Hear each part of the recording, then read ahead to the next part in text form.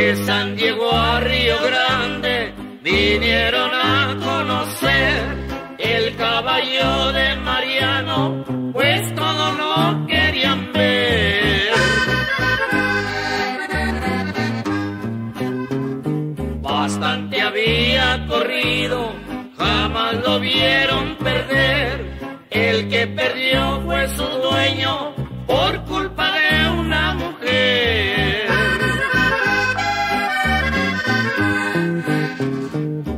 Mariano mucho lucía por la esquina del potrero, pues arreaba su ganado en su caballo ligero.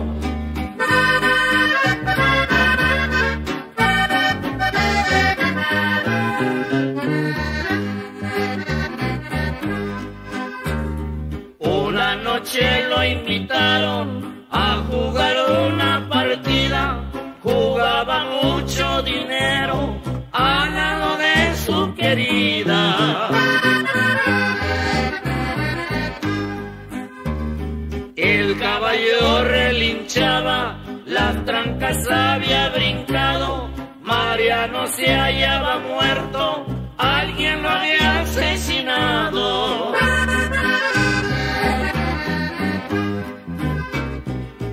cuchillo y su pistola, todito allí le dejaron, con las mismas armas del cobarde lo asesinaron.